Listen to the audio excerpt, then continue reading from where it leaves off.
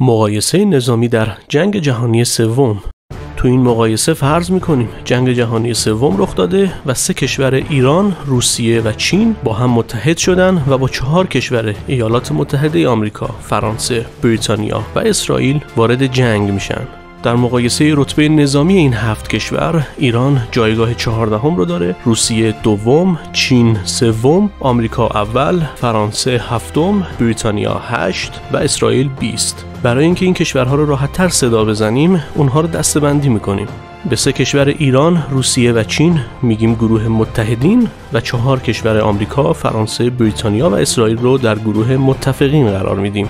این صرفا اسم گروه هاست و هیچ ربطی به متحدین و متفقین جنگ جهانی اول و دوم نداره. گروه متحدین رو با رنگ آبی و متفقین رو با رنگ قرمز نمایش میدیم. این مقایسه صرفا جنبه سرگرمی داره. به همین خاطر سلاح هسته هیچ کدوم از کشورها رو وارد کار نمی کنیم این دو گروه متحدین و متفقین رو در هشت دسته بندی با هم مقایسه می‌کنیم و توی هر دسته بندی بهشون امتیاز میدیم و در نهایت نتیجه رو میشمریم تا ببینیم توی این جنگ جهانی کدوم گروه پیروز میدان خواهند شد. تاکید می‌کنم این مقایسه صرفا جنبه سرگرمی داره. مسلما یک جنگ واقعی بسیار متفاوت از اون چیزی که اینجا مقایسه می‌کنیم و گروهی رو پیروز می‌کنیم خواهد بود.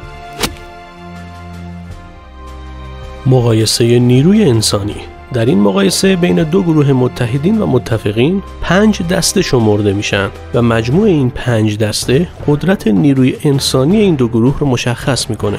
این پنج دسته شامل افراد آماده به خدمت مشمولین سنی یعنی افرادی که هر سال سنشون مشمول خدمت سربازی میشه خدمه فعال خدمه رزرو و شبه نظامیان این کشور هاست مجموع این عدد برای گروه متحدین به حدود 870 میلیون می‌رسه و برای گروه متفقین این عدد 210 میلیونه.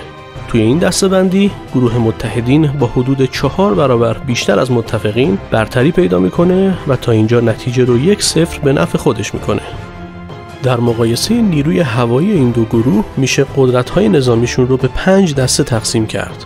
هواپیماهای جنگی، هواپیماهای مخصوص جنگ هوا به زمین، هواپیماهای ترابری برای انتقال یگان پیاده نظام، هواپیماهای آموزشی و هلیکوپترهای جنگی. مجموع این پنج دسته برای متحدین به عدد 7920 فروند می‌رسه و متفقین با تعداد دو برابر عدد 15600 فروند هست توی این بخش متفقین یک امتیاز می‌گیرن و تا اینجا نتیجه یک یک مساوی میشه برای مقایسه نیروی زمینی این دو گروه به دلیل اهمیت هر بخش از اجزای نیروی زمینی ما هر دسته رو جدا مقایسه می‌کنیم. ابتدا تانک های این دو گروه. مجموع تانک های کشورهای جز دسته متحدین به حدود 20 هزار می‌رسه و گروه متفقین حدود 8 هزار تا.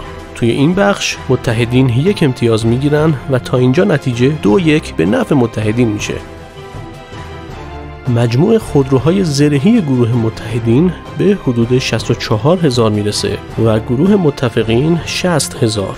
از اونجایی که این دو تعداد خیلی به هم نزدیکن برای دسته خودروهای زرهی به هیچ کدوم از دو گروه امتیاز نمیدیم و نتیجه همون دو یک به نفع متحدین باقی میمونه.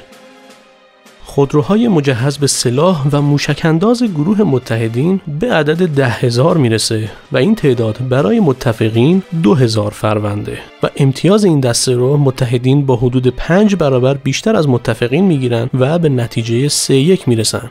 تعداد توپخانه متحدین به ده هزار تا می‌رسه در حالی که متفقین با سه هزار توپخانه تقریبا در این دسته بندی یک سوم متحدینن. با این حساب نتیجه چهار یک به نفع متحدین میشه. آخرین بخش نیروی زمینی مقایسه توان موشکی بین این دو نیرو هستش. تو این دسته بندی متحدین خیلی قوی تر ظاهر شدن. تعداد موشک های متحدین حدود 8500 تاست که تقریبا 6 برابر متفقین با تعداد 1500 تاست. توی این دسته هم متحدین یک امتیاز می‌گیرن و امتیاز خودشون رو به 5 میرسونن. پیش از مقایسه نیروی دریایی این دو گروه اگر از این دست مطالب خوشتون میاد کانال رو subscribe کنید تا بقیه ویدیوها رو از دست ندین. همچنین سایر مقایسه های نظامی هم توی بخش گزیده مقایسه توی کانال موجوده.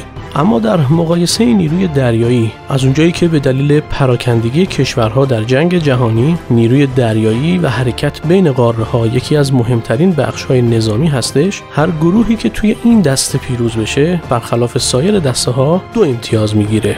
نیروی دریایی از هفت بخش تشکیل شده که مجموع اونها قدرت دریایی هر گروه رو مشخص می‌کنه. این بخش ها عبارتند از ناو هواپیمابر ناو هلیکوپتربر زیردریایی ها ناوچه، رزم ناو، شناورهای گشت زنی، ناو مینیاب و مینگذار مجموع این تعداد برای متحدین به عدد 1700 می‌رسه و برای متفقین 820 با توجه به این تعداد گروه متحدین هم توی این دستبندی پیروز میشن و دو امتیاز می‌گیرن که نتیجه نهایی رو هفت یک می‌کنه. در نهایت با توجه به این هشت دستبندی امتیازی که حاصل میشه قدرت گروه متحدین رو نمایش میده که توی این جنگ جهانی فرضی ما گروه متحدین شامل ایران، روسیه و چین پیروز این جنگ خواهند بود.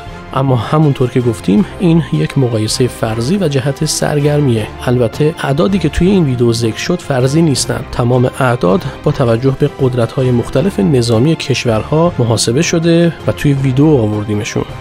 ممنون که توی این ویدیو همراه ما بودین. برای مقایسه بعدی توی کامنت ها بنویسین چه کشورهایی رو دوست دارین. برای مقایسه جنگ جهانی بعدی بیاریمشون و با هم مقایسه کنیم. subscribe کانال رو فراموش نکنید. ممنون از همراهیتون. تا ویدیو بعد خداحافظ.